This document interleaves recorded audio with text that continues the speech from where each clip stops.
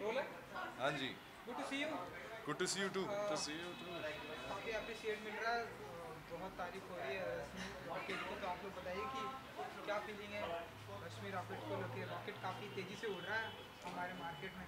वही जो रॉकेट उड़ने के बाद जो एक हैप्पीनेस होती है एक थ्रिल होता है आई थिंक वही हम बात करते हैं। पिछले हफ़्ते तक वो नर्वस एनर्जी थी जो हमेशा एक रिलीज़ से पहले होती है। लेकिन अब बहुत प्यार मिल रहा है और मुझे पसंद ये हो रहा है कि हर एज ग्रुप के लोगों को पसंद आ रही है फ़िल्म इंस्पायर हो, भी हो रहे हैं लोग और इंटरटेन हो रहे हैं, जो मुझे सबने कहा कि बैलेंस फ़िल्म है इंगेजिंग है। एक एक किरदार को लोग बहुत अच्छा पसंद कर रहे हैं और मुझे तो काफ़ी औरतों ने ये मैसेज कर दिया कि हमें आप जैसा ही हस्बैंड चाहिए। तो I think best husband award का uh, मिलना चाहिए मुझे। जल्दी शादी कर आपको बेस्ट हस्बैंड का अवार्ड मिलेगा।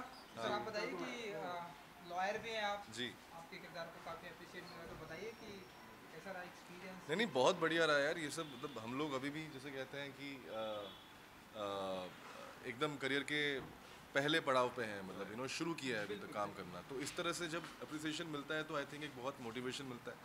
और जो ही है कि डिफ़िकल्ट कैरेक्टर्स जब आते हैं आपके पास तो आप डरते हैं कि मतलब ये कैरेक्टर हम किस तरह से निभा पाएँगे, जो डायरेक्टर ने रिस्पॉन्सिबिलिटी दी है, वो ठीक से हो पाएगा